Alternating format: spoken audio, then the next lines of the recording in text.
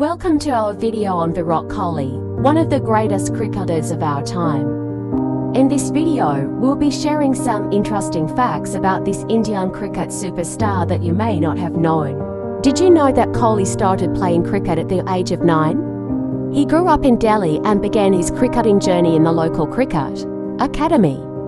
He quickly rose through the ranks and made his debut for Delhi in the under-15 team at the age of 14.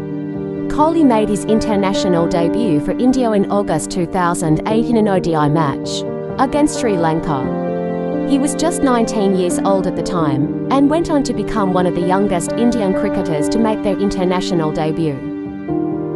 One of the things that sets Kohli apart from other cricketers is his incredible fitness levels. He's known for his strict fitness regimen and is often seen working out in the gym. He also follows a strict diet to ensure that he stays in top shape.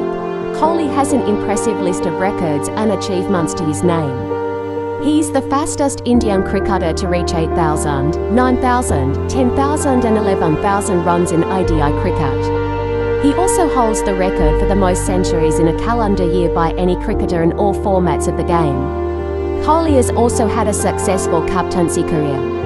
He has led India to victory in numerous tournaments, including the 2016 Asia Cup, the 2017 Champions Trophy, and the 2018 Asia Cup.